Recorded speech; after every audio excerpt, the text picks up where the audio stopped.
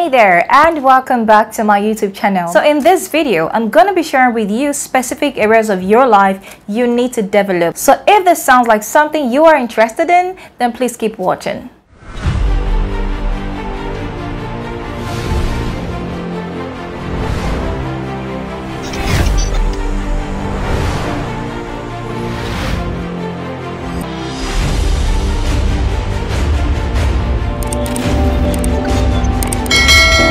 Okay, so let's dive right into it. So self-development is the process of developing oneself through certain activities just to become a better version of that person. So let's just make it a bit relatable to you. Now, self-development or personal development is the process of improving yourself through certain activities just to become a better version of yourself. You get the point now, right? Now, one thing constant in life is change. As an individual, if you do not consistently improve yourself, if you do not consistently and intentionally develop yourself, develop your craft, develop your mentality, your personality, you don't advance, you just stay at a particular level for a very long time which really isn't healthy for you. So on that note, I'm going to share with you specific areas of your life you need to develop. Okay, let's dive right in. So the first development for you is mental development. Mental development simply talks about your mind, your formation, your intellect. Now, the truth is, the more you're growing in life, the mentality you have about certain things change. Okay, as an individual, you need to consistently improve your mindset. You need to consistently expand your horizon. You just need to consistently step out of your comfort zone just to think better. So it simply means that your mind formation has to consistently advance. One of the benefits of mental development is the fact that you think better and more advanced. It opens you up to more knowledge, thereby reducing the rate of ignorance you already have.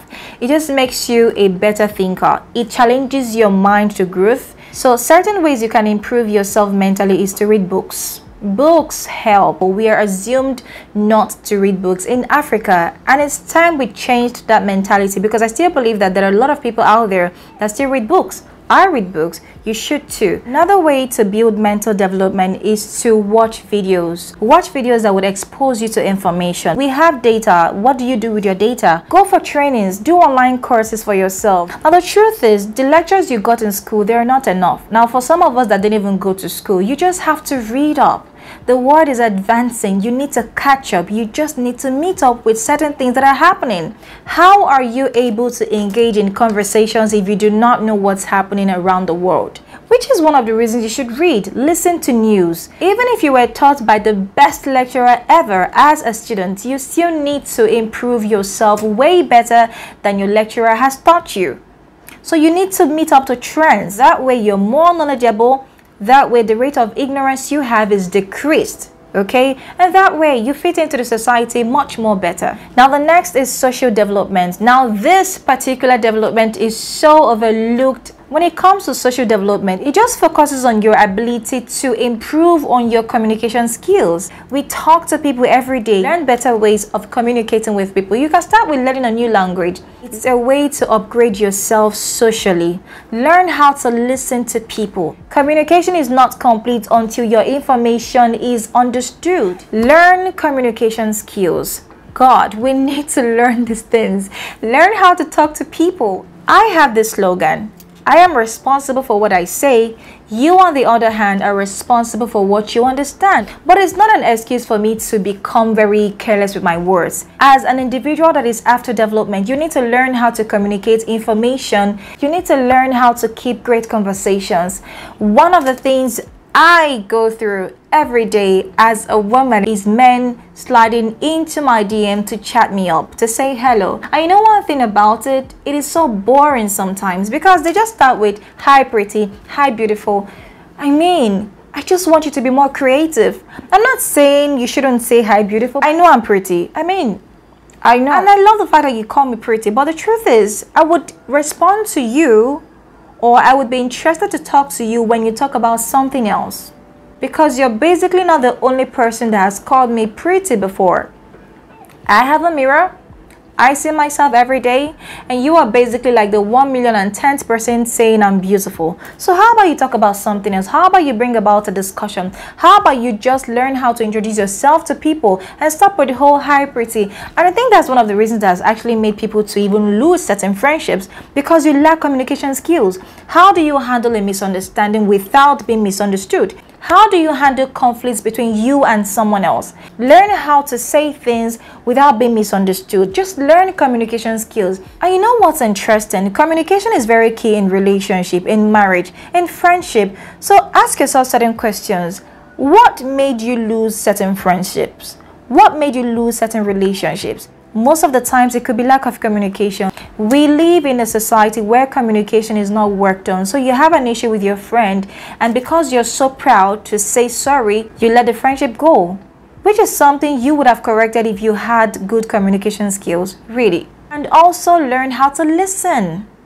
God, this particular one, mm, we fail at times and it trust me i mean as a person one of the things i love is when i'm talking to you um conversing with you and you're listening to me listening to someone is not just about oh i'm listening to you no no no talk i'm listening it has to do with body language. If you're listening to someone talking to you, your eyes let me know you're listening to me. Your body language makes me know you're listening to me. You can't say you're listening to me and then everything is just opposite of you listening to me. Let your body language show that you're communicating with somebody. Learn the act of public speaking. I want to believe most of you did seminars in school, I mean in tertiary institution. Now that's one of the things I had to go through as a mass communication student. I enjoyed it. It's a secret between the both of us. I enjoyed it. Like, learn public speaking. Trust me. You never know where you will see yourself. What if you're working in a company that would need you to present or do some presentations? Just learn it for yourself, just in case. You never can tell where you find yourself tomorrow. The few benefits of social development is that it helps you to learn how to keep interesting conversations. I don't know about you, but I am so big on great conversations. Like, I love great conversations. So, you just have to be someone that knows how to keep up a good conversation. That's the secret I'm telling you right now. Trust me. It also helps you to save relationships. Most relationships that have failed would have been really saved if people in that relationship had kept communication well. If you know how to communicate with people, you will learn how to resolve conflicts. You will learn how to create more understanding. You will learn how to avoid certain situations that will just put you in jeopardy, basically. Okay, away from that, the next is spiritual development. So, spiritual development helps you to know God more for yourself. Spiritual development helps you to build a healthy relationship with God. You cannot know God if you do not keep up communication with Him. How do you get to know God? Read the Bible, go for church meetings, join a department in church, just get serious with Him. And you know, one of the things it helps you to do, it helps you in decision making. There are certain decisions you need to take in your life that you will literally need God's guidance. I'm talking about the Holy Spirit leading you as a person. Spiritual development helps you to know God more for yourself, aside what your pastor teaches you, aside the things that people talk about, not just by what your teacher taught you as a child or my book of Bible story. Ha! It will shock you to know that a lot of us still know God based on my book of Bible story. That's a long time ago. Come on upgrade, step up, just know God for yourself at this point in your life. It would help you to make certain decisions without pressure. It would help you to gain divine guidance. This is a crazy world. A lot of things happen. So trust me, you would really need God to guide you. And guess another reason? Spiritual development just helps you to know yourself the more. As a person, you don't know yourself really. And the only way you can know yourself is to go to God. It's just like a product that has just been made by a manufacturer. How the manufacturer helps you to know how to use this product is through the manual. So how do you get to know yourself if you don't go to God? God is your creator. If there is one way you would know about yourself the more is by going to your creator.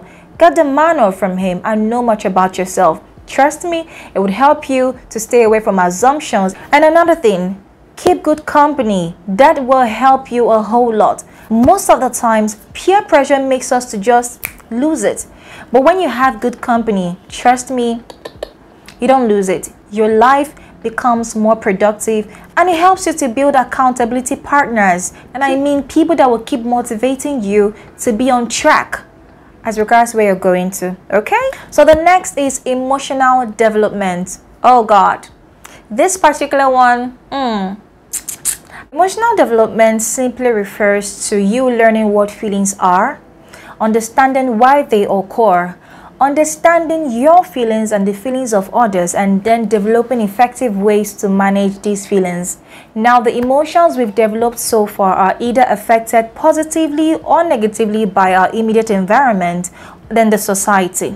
The parenting system in Nigeria is totally different from that of other countries. Now, it is only in Nigeria that your parents would not apologize to you when they wrong you. The percentage of parents that apologize to their kids are very low. So somehow you just find it difficult to see kids that are free to express themselves without an adult shutting them up. If there is one thing we need to encourage, you know, when it comes to um, raising kids, is to allow our children to be able to express themselves without shutting them up.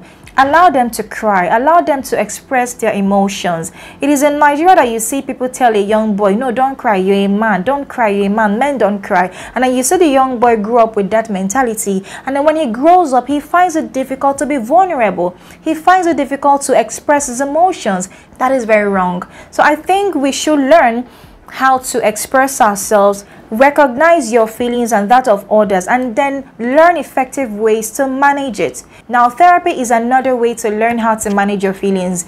We have lots of things going on every day. We find it difficult to talk to a professional therapist for different reasons. Maybe fear of judgment you're afraid of going to the past you're still hurting from the past. But we need to learn how to open up to someone that is a professional when it comes to therapy when it comes to counseling. There's nothing wrong with you being vulnerable knowing that certain feelings are normal. Now, one benefit of seeing a therapist is the fact that you get so much support. You get to understand what is normal about what you feel. You also get to, you know, feel less pressure because of the support you've gotten. And trust me, you will definitely feel way better when you talk about whatever issue that bothers you. The next is physical goals. Trust me, every one of us should have physical goals. Now, the truth is, you know, it is related. Some people want to lose some weight, some people want to put on some weight. So basically, it's different strokes for different folks. But whatever works for you, whatever you want to achieve, you know, based on your body goals, just make sure you achieve it. The goal is to make sure that your body system is healthy that your body is in good state. So you might have to think about doing routine checkups, you know, once in a while. Do more exercises. Another thing that we Nigerians are so guilty of is the fact that we do so much self-medication. Any little thing that happens to you, you just know the right drug to take. We should cut down on that. First of all, go get tested and then know what is wrong with you. Then get drugs prescribed for you and then you buy the drugs. It's very simple because a lot of us have had our organs damaged because we keep self-medicating. It is wrong. Sleep well, like practice beauty sleep. There's nothing wrong with sleeping well. It just doesn't make you a lazy person. When you sleep well, your body just rejuvenates. Your body bounces back from the stress you've gone through. Physical development is all about learning how to take care of your body. No matter how spiritual you are, when you neglect your physical health, it will not cancel the consequences. When you die, the vision doesn't die, God will pass it on to someone else cut down on the sugar, cut down on the, the junks, just cut down on excessive eating. Eat right. So please, do yourself that favor. Just make your body feel good. Let your body appreciate you. Let your body thank you. Okay guys, so this is how far I can go today. But trust me, when you work on these areas of development, you will be a better individual. So guys, this is not a monologue, it is a dialogue. I would appreciate it if you drop your comments on the comment section. So just in case you don't know me, hi, my name is Oluebube Emeka and I love human development. I am passionate about human development. So give me a thumbs up, like, and subscribe to my YouTube channel because this is about to get hotter. Alright guys, thank you so much.